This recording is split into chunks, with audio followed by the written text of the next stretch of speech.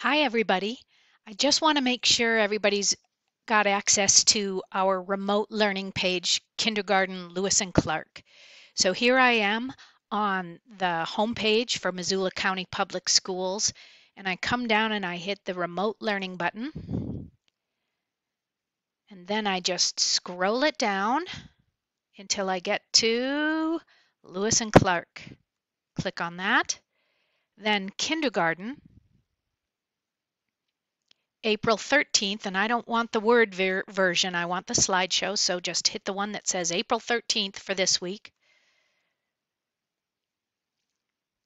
And the first thing you'll get is a bunch of links to other apps that you can use to promote your online learning.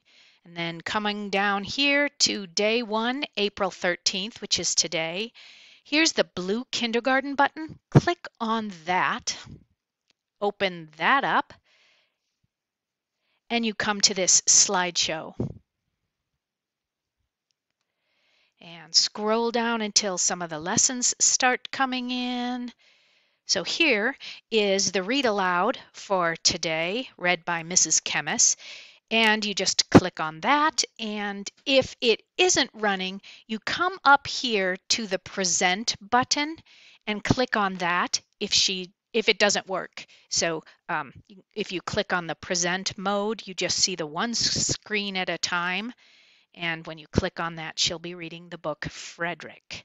And then if you keep scrolling down, you'll come to the math problem that has to do with the book that you just read. Frederick and four other mice were in their hideout. So that's just a quick tutorial on how to get to the remote learning page for Lewis and Clark Kindergarten. Don't forget to click on the blue kindergarten button.